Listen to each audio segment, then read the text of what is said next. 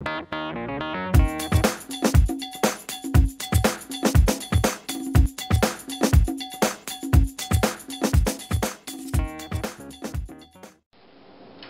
everybody, I'm Charlie Andrews, the New Orleans Cook. Today I'm going to be showing you how to make a fresh homemade garlic bread with Parmesan and mozzarella cheese from scratch. Okay, so let's get started. Okay, this is all what you're going to need to make your um, garlic bread from scratch. And down here the bread, this we have um, some uh, French bread right here. Got two little loaves of that. Um, you're going to need some uh, mozzarella cheese, Parmesan cheese. You're going to need some uh, some garlic, some fresh parsley, or you can use the parsley in the um, bottle here. Um, you're going to need 100% uh, pure olive oil, and of course you're going to need a dark pan to uh, bake your bread. You're going to need a knife and a cutting board, and you're also going to need a uh, a uh, food processor. Okay, and there you have it. Okay, we're going to go ahead and we're going to chop our bread in half here. And you got to do it, use it gently. So you have to have a knife with the edges, a rigid um, knife.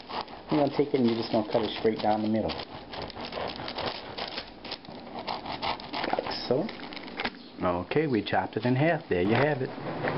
Okay. Um, now we're going to go ahead and make our garlic sauce. Um, right now, preheat your oven to 400 degrees, which I have just done. Okay. Um, you're going to need uh, five cloves of garlic, five cloves of. What I did was I took the garlic and I cut it in half to help a little bit of the cutting process. And what we're going to do is we're going to add a little bit more than a half a cup of olive oil.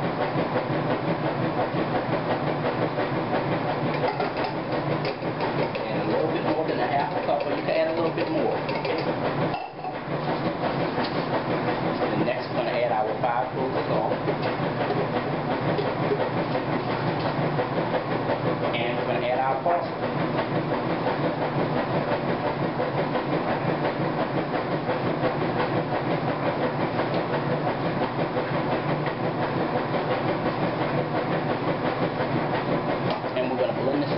Well incorporated, well mixed.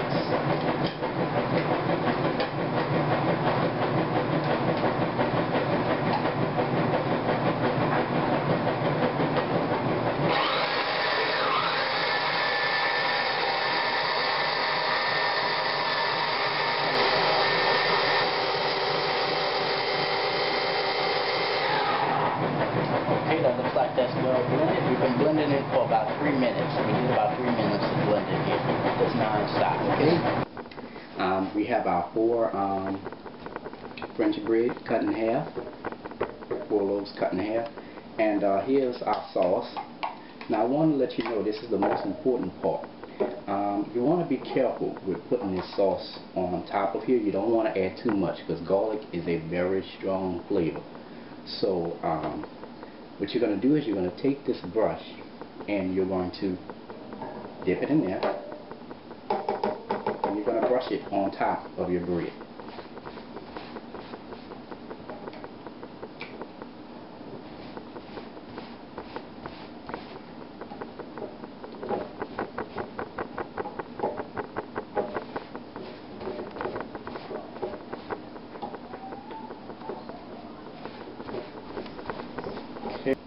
Okay, now that I'm finished spreading my um, garlic sauce on top of the bread, what you're going to do next is you're going to uh, sprinkle a little bit of salt on top of each uh, half of bread. Okay? Sprinkle a little bit of salt, not too much.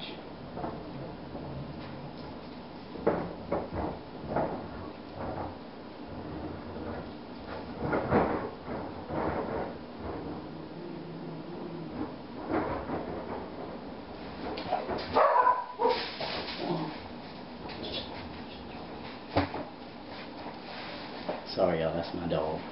Deal, hush. Okay, now, now that we put our salt on there, now it's time to add our cheese. Now, if you want to, you can put this on in the oven as is and just bake it for about 10-15 minutes. Diesel, over here. Okay, sorry, y'all. but um, if you want to put cheese on it, you want to continue continue to watch this video, okay? Okay, we have some uh, Parmesan cheese. This is the name brand cheese. It's about almost $3, but um, I use good quality cheese on, on my bread, okay? So this is some Parmesan cheese, so we're to go ahead and add a little bit on top of each half.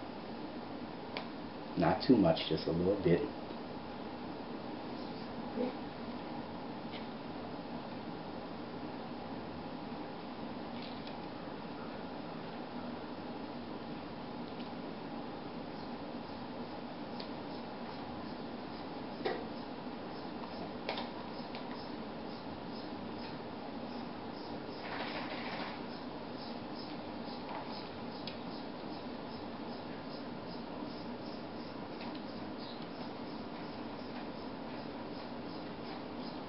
Okay, now and next we're going to do is we're going to add uh, a little bit of uh, mozzarella cheese.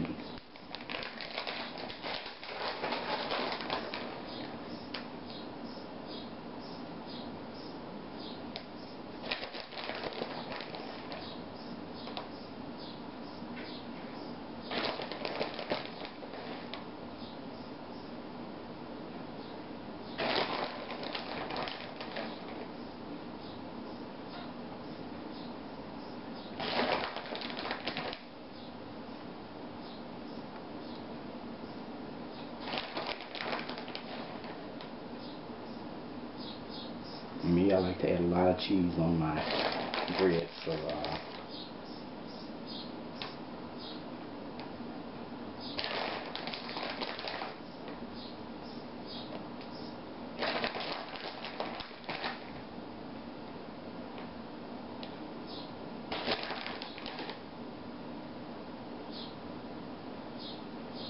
Okay.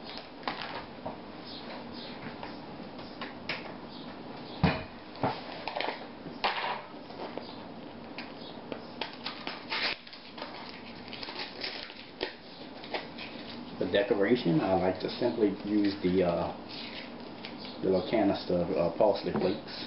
So what we're going to do is we're going to take a little bit of that. It's just for a little decoration. We're going to just add that right on top.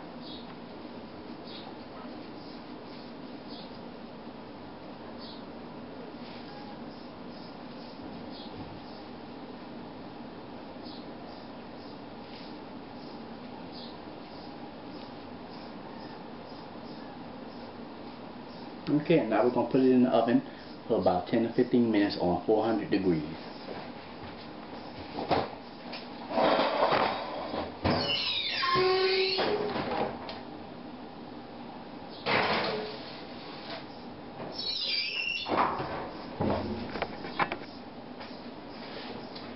Okay, now it's time to take our uh, garlic bread out of the oven. It's been about 15, 16 minutes, so still Oh. Oh my god, that looks good. Look at this. Look at that garlic bread. Oh, it looks so good.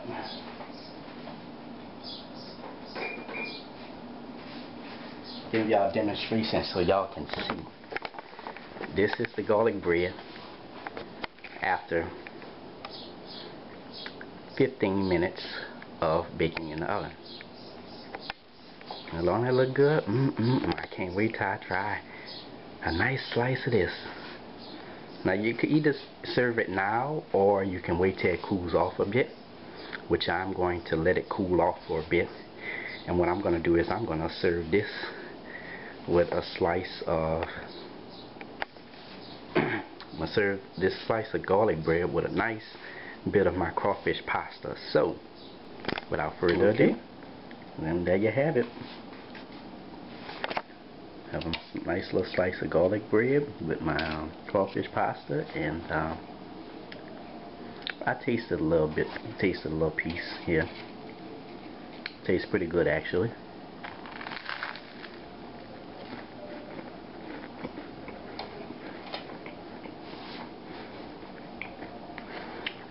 To be honest, the garlic bread is not where it's good, but it's not where I want it to be at this point, but it's, it's good.